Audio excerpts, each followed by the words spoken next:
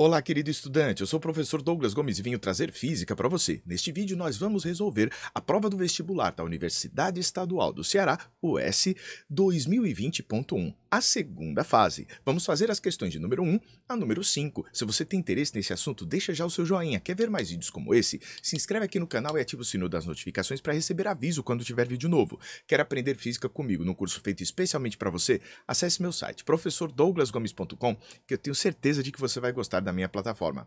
Agora, quer encontrar a questão no instante certo aqui neste vídeo? Na descrição eu deixo quando começa a resolução de cada uma delas. Então vem comigo que a gente tem muito para aprender. Em um campeonato de futebol, como o brasileiro de 2019, bolas são chutadas e arremessadas milhares de vezes, quase todas como lançamentos oblíquos ou variações mais elaboradas. De modo simplificado, lances ao, é, de longo alcance podem ser tratados como massas pontiformes lançadas sob a ação da gravidade e da força de atrito com o ar. Cuidado!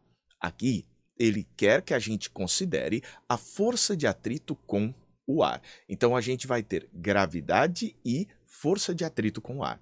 Essa força de atrito pode, dentro de certos limites, ser tratada como proporcional ao módulo da velocidade da bola. Dado isso, é correto afirmar que Opção A. Mesmo com a força de atrito, a trajetória continua sendo parabólica. Opção B. A força de atrito tem sempre direção horizontal. Opção C. O alcance de um dado lançamento é reduzido pela força de atrito. Ou opção C, a força de atrito tem sempre direção vertical. Vamos comparar o lançamento tradicional, sem atrito, com o lançamento com atrito e vamos ver as conclusões. Primeiramente, vamos observar o lançamento sem atrito, sem a resistência do ar. A única força que vai atuar é esta força-peso, que eu deixei em destaque aqui em vermelho para você. Como a força-peso atua só na direção y, na direção vertical, ele vai apenas alterar o vy, a componente y, a componente vertical da nossa velocidade. Note que o vx é sempre o mesmo. Então, o peso reduz o vy a zero, né? existia um movimento para cima, no ponto mais alto ele deixa de subir, e depois ele puxa para baixo. Então, a força peso está sempre puxando para baixo, cons conseguindo anular o VY e depois inverter o sentido do VY. Mas, enquanto isso, a componente x da velocidade está sempre constante. E vai existir a trajetória parabólica famosa conhecida por você. Agora, vamos colocar a força de atrito para ver o que, que vai se modificar. A força de atrito, ela vai ser contrária ao movimento, contrária ao vetor velocidade. Então, olha que legal. Nós temos duas forças e não apenas uma. O peso atua só na direção vertical. O atrito vai atuar na direção da velocidade, que não é necessariamente nem vertical nem horizontal, ela pode estar tá inclinada, né? Vai chegar ali no ponto mais alto, essa velocidade vai ficar horizontal, mas eu não posso garantir que a força de atrito vai atuar sempre na horizontal, porque a velocidade nem sempre assim será. Né? Douglas, e aí? O que, que vai acontecer? A gente sabe que a nossa velocidade tem componente x, então ela vai ter bem aqui o Vx e vai ter também a componente y. Olha o que, que acontece agora. O nosso atrito também vai ter componentes. Nosso atrito vai ter componente aqui na direção x, tá aqui, ó, o FAT x, e vai ter componente na direção y. Então, nossa força de atrito atua nesta direção diagonal, e por conta disso, vai existir componente do atrito atuando nas duas direções. Mas o que eu quero que você observe é isto aqui, ó. Essa parte do nosso raciocínio. Vai existir força contrária ao Vx. Antes não havia. Antes não havia coisa alguma modificando o movimento na direção x. Agora, vai ter uma componente do atrito. Sabe qual vai ser a consequência disso? não se vai conseguir o mesmo alcance de antes, ó. O movimento fica parecido com isto. Deixa de ser uma parábola, como a gente estava esperando, e vai acabar sendo esta outra figura curva. Porque o atrito vai mudando com o valor da velocidade e vai também mudando com a direção da velocidade.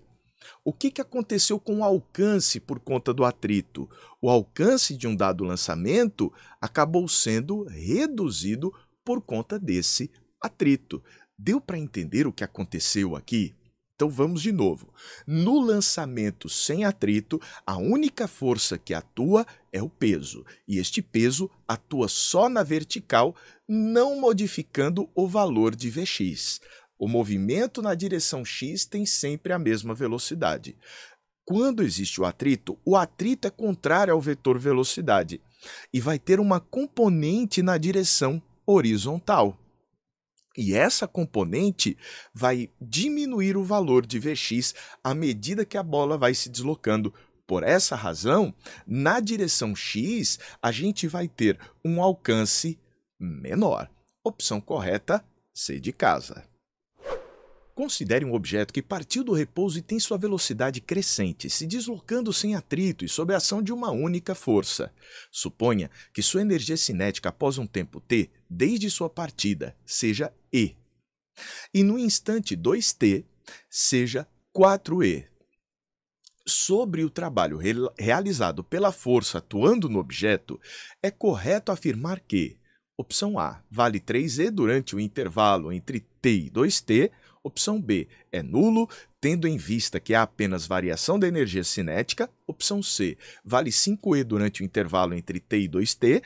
Ou opção D não é possível ser determinado por não haver informação sobre o valor da força nem sobre o deslocamento.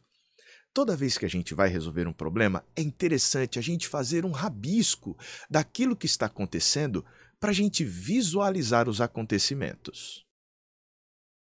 Vamos resolver esse problema pensando apenas em trabalho e energia. Diz aqui que o objeto partiu do repouso, velocidade inicial igual a zero, energia cinética inicial igual a zero. Observe ainda que o instante inicial é zero. Aí ele diz que após um tempo t, ou seja, no instante t1 igual a t, a energia cinética vai ser E. Depois, no instante 2t, a energia cinética vai ser 4E. Sobre o trabalho realizado pela força, por esta força única que está atuando aqui, o que é que nós podemos afirmar? Como é que a gente calcula o trabalho da resultante? Veja que esta força F é a única força que está atuando. Então, ela é a resultante. A gente diz que o trabalho da força resultante atuando sobre uma partícula é igual à energia cinética final menos a energia cinética inicial. Isso vai me dar 4E menos E, o que daria quanto? 3E. Como F é a nossa resultante, o trabalho efetuado por F vai ser 3 vezes E durante o intervalo entre o instante T1, que é o T, e o instante T2, que é 2T. De tal maneira que a nossa opção correta já é o item A. O B de bola diz que o trabalho seria nulo. Não, havendo variação da energia cinética, trabalho está sendo realizado para transferir essa energia. Você está dizendo que vale 5E durante esse intervalo. De onde é que ele tirou esse 5? Foi fazendo uma soma sem sentido. D de dado não é possível ser determinado por não sabermos nem a força nem o deslocamento. Bem, a gente usou uma outra estratégia. Quando a resultante das forças efetua um trabalho, a força resultante não provoca uma aceleração? A aceleração não varia a nossa velocidade? Então, o trabalho efetuado pela força resultante corresponde à variação da energia relacionada à velocidade, ou seja, da energia cinética. Opção correta, a de avião. Está gostando do meu trabalho? Pois eu te convido a conhecer a minha plataforma de física para o ensino médio, com vídeo aulas feitas para você aprender do básico até o nível que você precisa para fazer a sua prova para o seu Enem, para o seu vestibular. As nossas videoaulas vêm acompanhadas de resoluções de exercícios e listas também em PDF para você resolver. Não conseguiu entender? A gente tem aqui então um espaço para você tirar as suas dúvidas. Quer aprender física comigo? Acesse meu site professordouglasgomes.com. Segue o vídeo. Um elevador, de modo simplificado, pode ser descrito como um sistema composto por duas massas ligadas por uma corda inextensível e suspensas por uma polia de eixo fixo. Uma das massas é um contrapeso e a outra massa é a cabine com seus passageiros. Considerando uma situação em que a cabine executa uma viagem de subida, é correto afirmar que, opção A, o trabalho realizado pela força-peso é negativo sobre a cabine e positivo sobre o contrapeso. Opção B, o trabalho total realizado pela força-peso sobre o conjunto cabine e contrapeso é sempre nulo. Opção C. A energia cinética do contrapeso tem sempre o mesmo valor da energia cinética da cabine, pois as duas velocidades têm o mesmo módulo. Opção D. A energia potencial da cabine é sempre decrescente nessa viagem. Vamos fazer o esquema.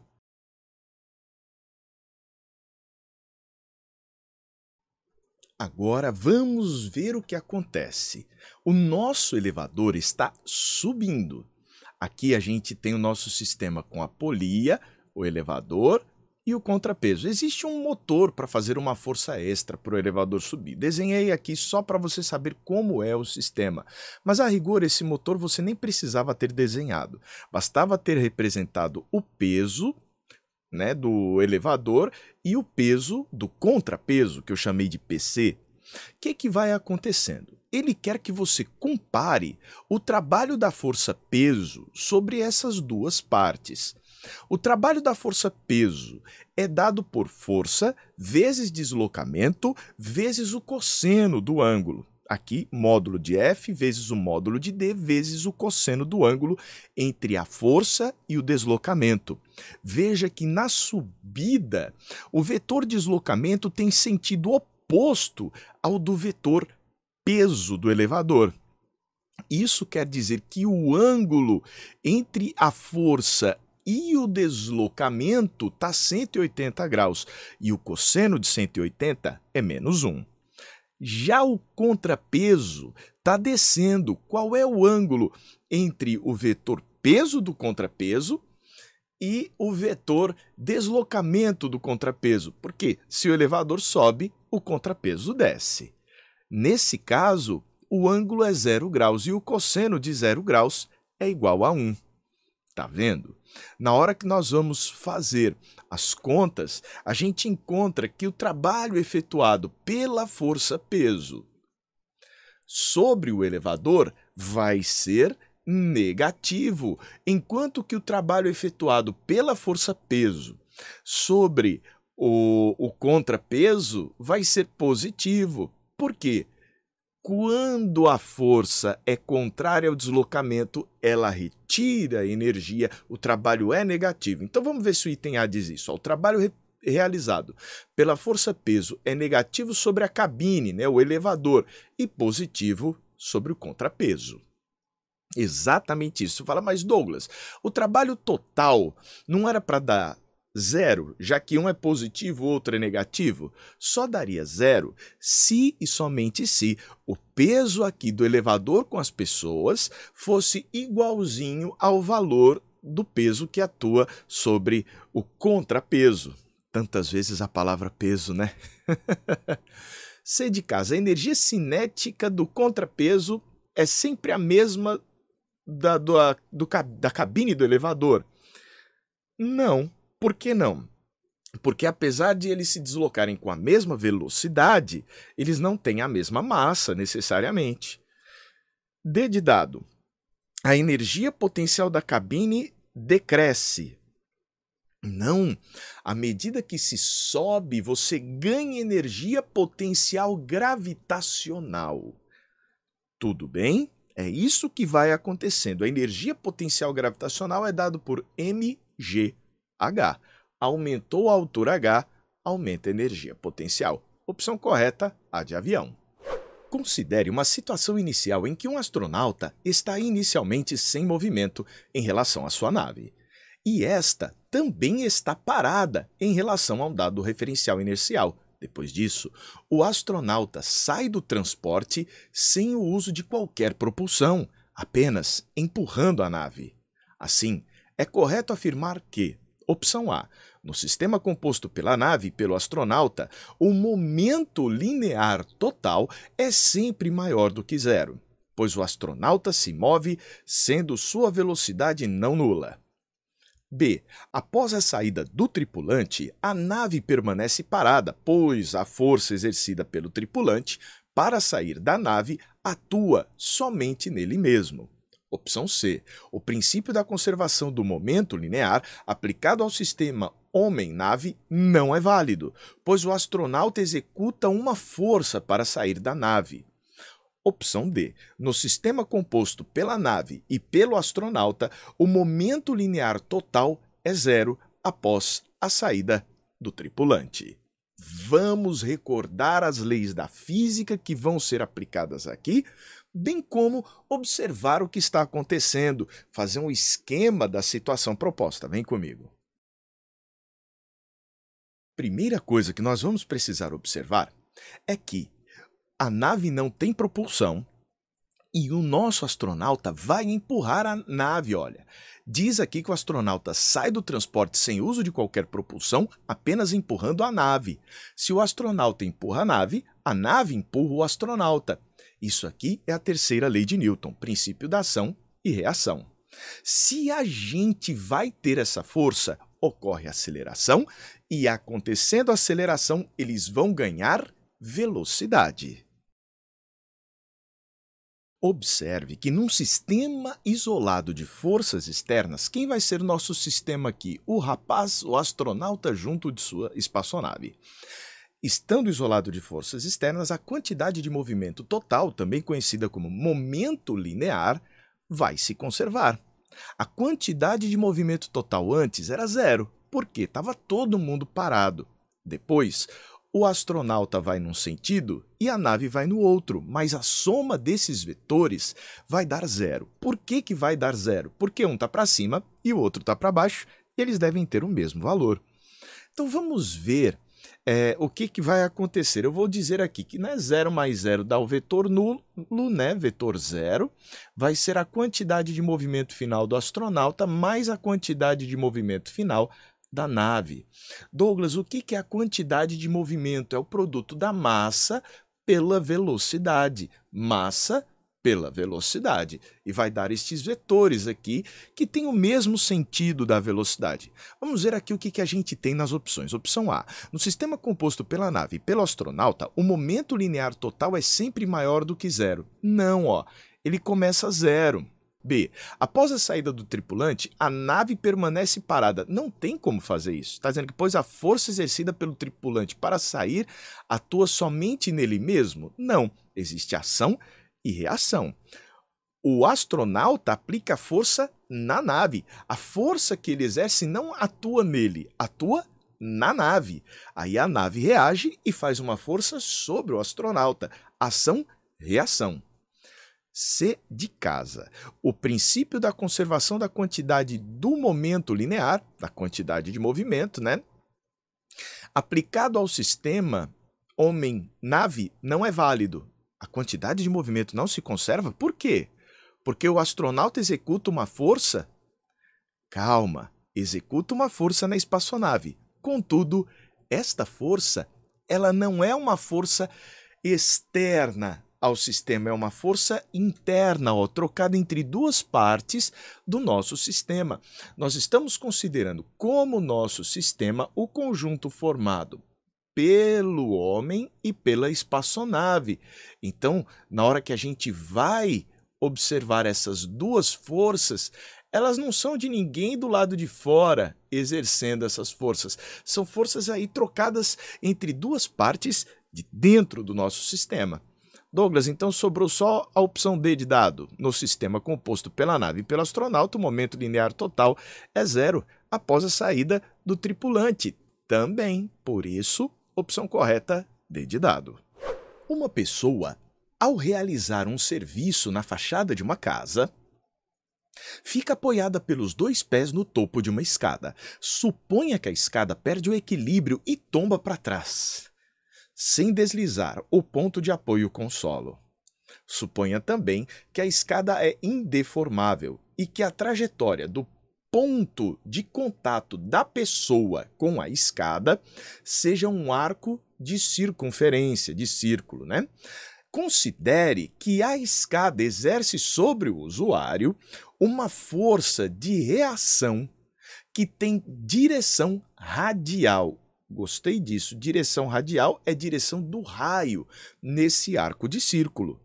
Sobre o trabalho realizado pela força de reação que a escada faz sobre os pés do usuário durante a queda, é correto afirmar que Opção A é nulo, pois a força de reação é perpendicular ao deslocamento.